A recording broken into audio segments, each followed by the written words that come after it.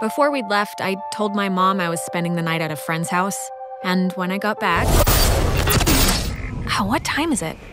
yeah, sorry, I gotta run or I'll miss the ferry. Ren's dragging me out to Edwards Island for that yearly beach party thing.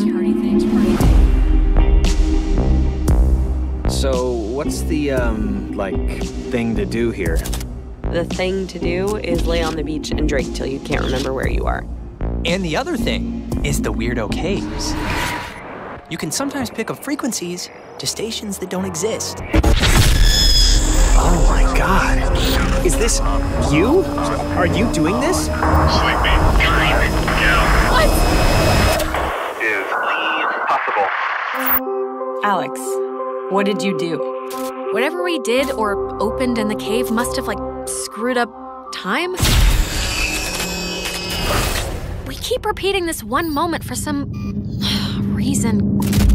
This night has turned banana bread really fast, and I'm seeing things. Holy, what is happening? It's ghosts. She doesn't want to say it, but it's ghosts. Pencils ready. How many officers died in the sinking of the USS Kanaloa? Are you the dead officers that sunk on the Kanaloa?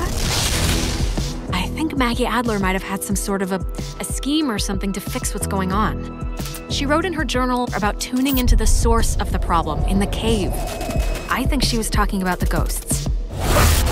We are sunken. What do you want? We will Absorb into your friends, and we will grow, and we will engulf. You can leave, you know, through the gate you opened.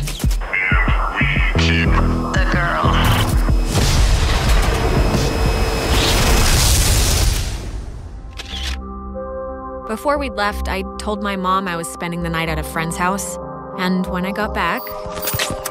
Sorry, but this is so familiar.